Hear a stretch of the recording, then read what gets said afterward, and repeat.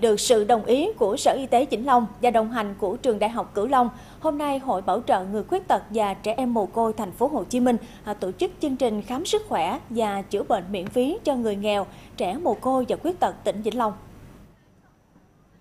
Đoàn đã khám chữa bệnh và cấp thuốc miễn phí cho gần 2.000 người nghèo, trẻ em mồ côi và khuyết tật thuộc 4 xã Hòa Ninh, Bình Hòa Phước, Đồng Phú và An Bình của huyện Long Hồ.